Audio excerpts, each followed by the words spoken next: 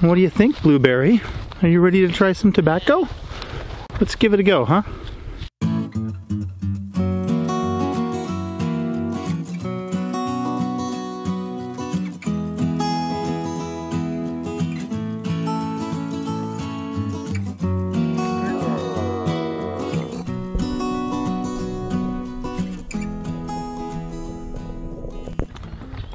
So, part of kind of our whole goal with homesteading is to live a connected life to the world around us. And by the world around us, I mean plants, animals, things like that, to be able to take more control of our life and what goes into it. Um, you know, not only including things like not having television or watching, uh, you know, what we expose ourselves to, whether it's, um, you know, online or what books we read, other things, but also, you know, controlling what goes in our physical body as well.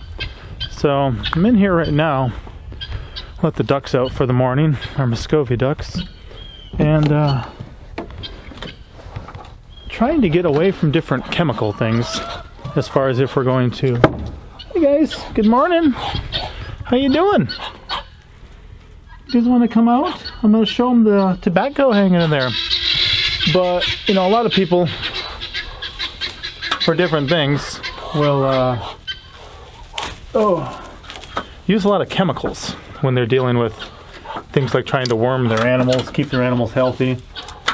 And especially if you get into the, like, mass-produced type stage of things. But here, we're growing our own tobacco and spent some time talking to Chris from Shalom Acres. And uh, he's got quite a few sheep they take care of a lot of things themselves. He actually uses, um, hey guineas, uh, pear cider vinegar that he makes. And, uh, you know, some people use apple cider vinegar mixed in with the water as a natural wormer too. But I'll tell you what, his pear cider vinegar, I love it. I would drink that stuff all day. It uh, reminds me of kombucha.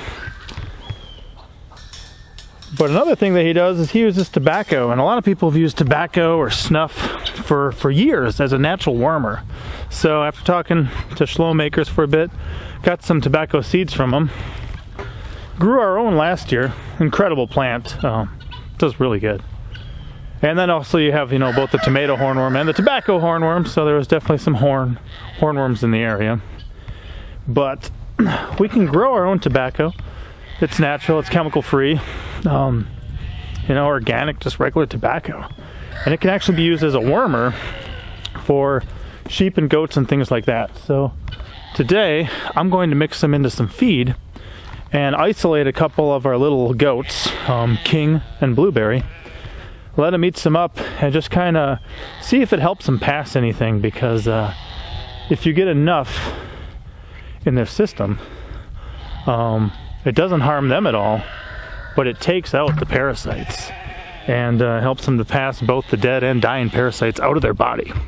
So I think I'm going to isolate them in the guinea pen, just so that way they're not out in any of the pastures where our uh, where our sheep and goats and stuff are going to be. And then I'll see. Uh, he'll give me a isolated area to examine exactly what they what they dispel. So I might even uh, move the guineas out of there just have them in the guinea pen, do the test, and see. Because supposedly, like an hour after eating it, um, they'll actually start passing stuff. So, doing some more research, and I'll definitely uh, add some more information in this video. But that's where I'm at right now. That's the experiment I'm working on.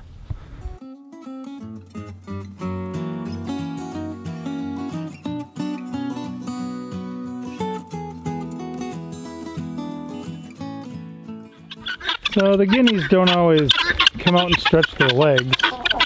Um, when you first move into a new area, you should really uh, let them sit in the same place for about a month first so they understand where their home is.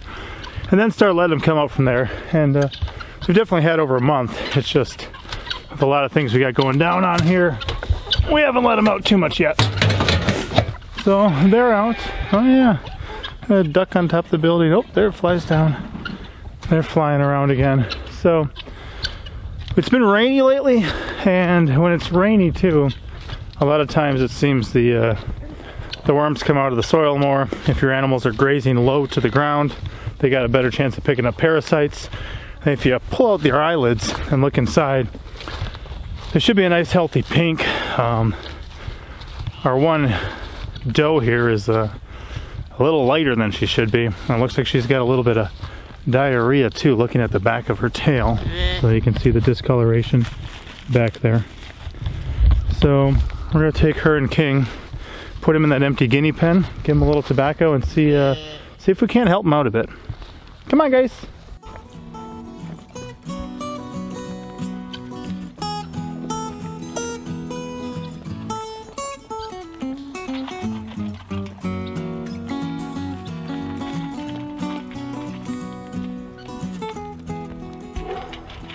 So I did put in more tobacco than I need to, just because I know they're going to try to eat around it, and I'll save some for some of the other animals.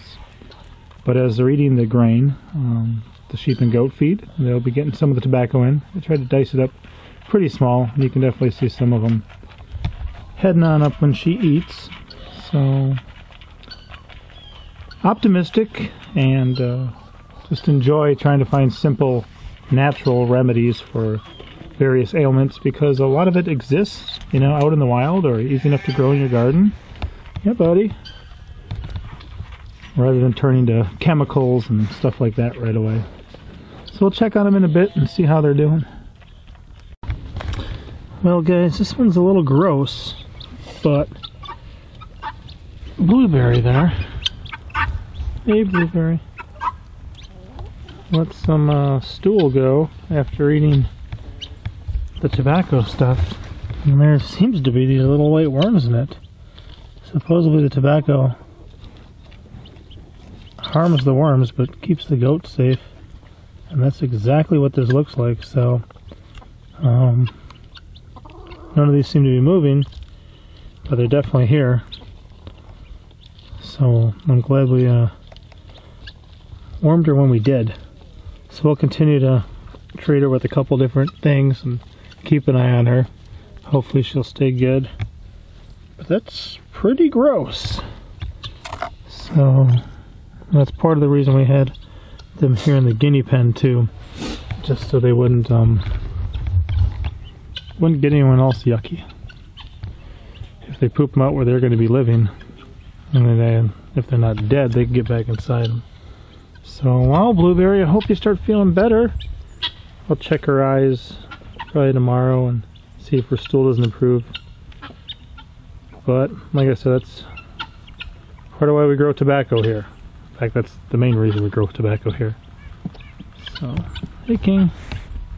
Yeah, buddy. Think those are worms? Yeah. Yeah, I think so too. They look like worms. They look gross.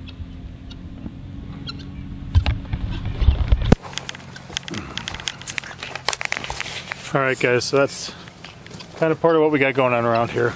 Um, when you got a lot of rain, especially late winter and the spring, a lot of stuff comes out of the soil. They're mowing down things pretty hard, so um, when they eat close to the ground, they get the worms in them. There's a number of natural remedies, including tobacco. So, I don't know, I was told, you know, if you feed them the right amount of tobacco, they should pass some stool in about an hour and there should be dead or dying worms in it. And that looks exactly what's going on here. So we'll continue to do more research, continue to take care of these guys, and uh, it's not uncommon for them to get parasites. It's just a matter of treating them before they really harm them. So that's where we're at now. All right, pop out.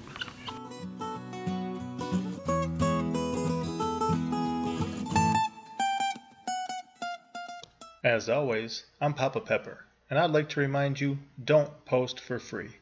If you'd like to be part of a revolution in social media, an economic power to the people where users can actually blog for cryptocurrency, then I'd recommend that you check out steemit.com and join the revolution. Papa out.